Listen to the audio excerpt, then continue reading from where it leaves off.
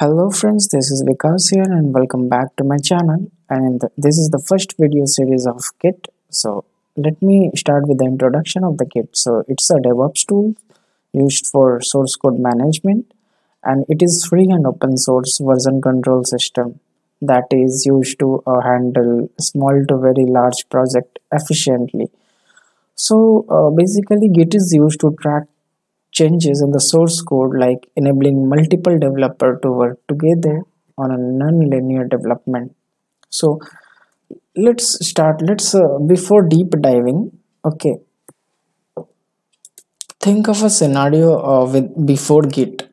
So uh, what was happening earlier like developer used to submit their code to the central server without having copies of their own. Means in the local repository after you have done the code you do not have anything so what was happening like any changes you have made to the source code uh, that was unknown to the other developer also and there was no communication between any of the developers right?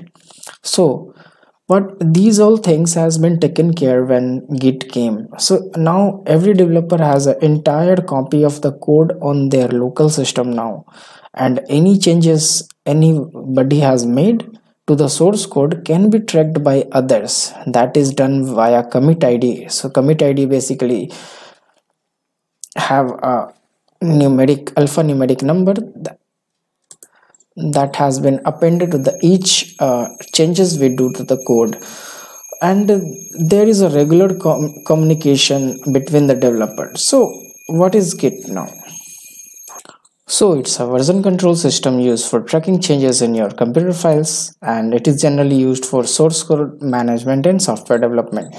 So along with that, it is used to tracking changes in the source code and the distributed version control tool is used for source code management and it allows multiple developers to work together and it support non-linear development through its thousand of parallel branches so suppose you are working on a, some project and uh, it's going on right? And somebody came and somebody came with a better idea and he wants to implement uh, something nice features in that.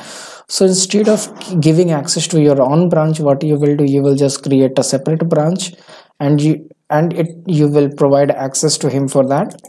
So that instead of disturbing the main code he can he can do his own implementation right? And from the from the time you will create a branch whatever code you have that all code will be copied to the next branch.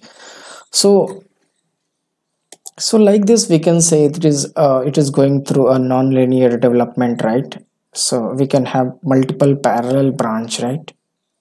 So these are the three types of version control system we have so let's let's just start from the lvcs that is local version control system. That that is a very simplest form of a, a version control system and it has a database that keep all the changes to the files under revision control. So uh, for for sake of example you can have rcs that is one of the most uh, common version control system in this. So what what was the issue with that? So whatever changes you are keeping in your local think like if it got crashed. Then all the changes do you have in your local that all will be lost right? So then we have uh, central cvcs that is central version control system right? So in that uh, this system uh, was containing just one repository and each user get their own working copy. Okay. So you need to commit to uh, reflecting your changes in the repository. So for that you have to you you need to connect to the internet right? So that you can get connected to the server. And in this also you don't have any copy in the local. You are just uh, doing the coding while connecting to this central server right and what was the issue in that? Suppose uh, you do not have copy in your local here also as well. But uh, if uh, that central server will crash then all thing will be lost right? So next came uh, this distributed version control system. So uh, this distributed version control system contains multiple repository. So each user has their own repository and working copy as well So just committing your changes will not give access to your changes. This is because a commit will reflect those changes in your local repository and you need to push them in order to make them visible to the central uh, repository. So whatever code you, uh, you are editing and just making changes it will be to your local up to your local itself. It will not reflect to other people until you will not push the code to the central repository right so now let's just start with the git workflow. So basically it is divided into three states right? That is a work directory second is staging area and third is git repository. So working directory is basically uh, the uh, the directory where you have initialized your git. So it is the it is the path where you are doing your codes and all right?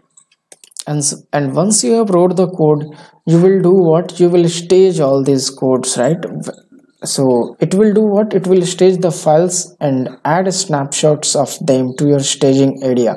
So once you have finished your coding you will push you will stage your code to the staging area. And from there why we are uh, basically doing uh, putting this all code to the staging area? Because suppose like uh, if you want to just uh, uh, push uh, commit some part of the code like you want to commit css and dot java files now you required. So from the staging area you will just select all those file and you will commit those all file right? So that is that is the main use case of this staging area. So next comes this is a git repo that, or you can say it is a git directory. So it do what? It perform a commit that stores the snapshot permanently to your git directory okay.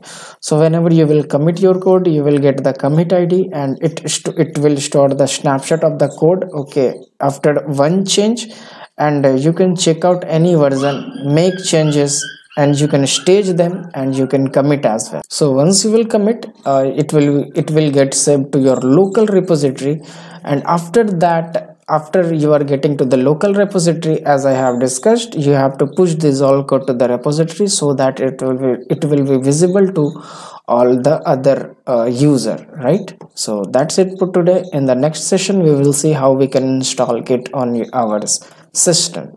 So thanks for watching